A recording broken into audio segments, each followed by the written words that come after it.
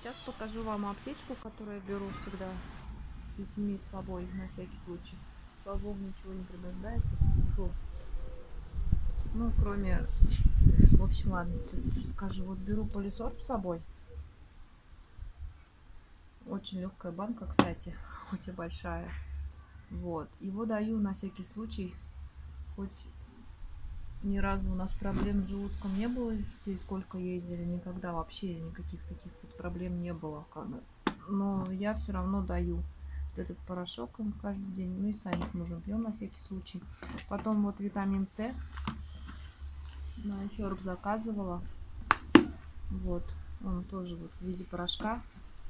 Очень хороший натуральный витамин вот этот. Почему в такой банке взяла? Потому что все-таки порошок. Я побоялась, что на таможне что-нибудь там не понравится. В общем, вот перекись водорода на всякий случай, если какие-то раны там. Пентавин, пентавит. Это витамин В. Тоже его даю по таблетке.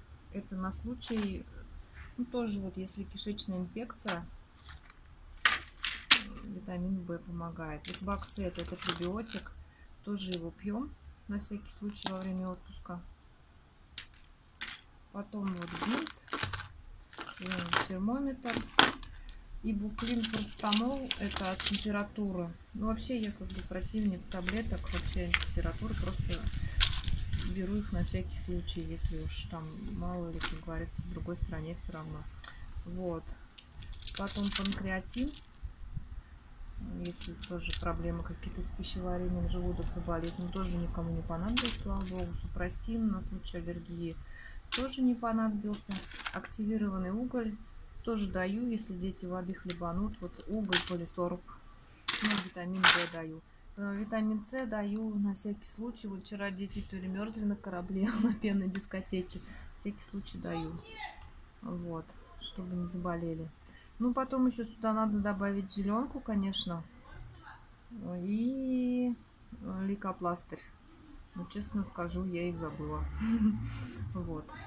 В принципе, вот вся аптечка, которую я беру, больше ничего не беру. Ну, пригождается вот пылесос, витамин С и боксет, пентавит. Но опять же говорю, даю это на всякий случай, потому что ну, просто боюсь по отзывам, там, что дети там, я не знаю, плохо им после того, как хлебанут воды в море или в бассейне. Но вот у нас вот фу все обходится всегда. Ну, я, конечно, вообще не разрешаю детям есть грязными руками там после бассейна, после моря. Никогда не, не едят, они всегда идут мыть руки, если в отеле. Если где-то на море, ну, в принципе, когда все включено, мы на море вообще не едим. Но если вот едем, не все включено, бывает, что как бы едим, но всегда заставляю их сначала влажными антибактериальными салфетками пользоваться, и только потом уже разрешаю им есть. Я говорю, сколько раз мы ездили, вот самого детского мелкого возраста, у нас никогда проблем, слава богу, не было. В общем, всем спасибо за внимание. Может быть, кто-то что-то добавит, буду благодарна.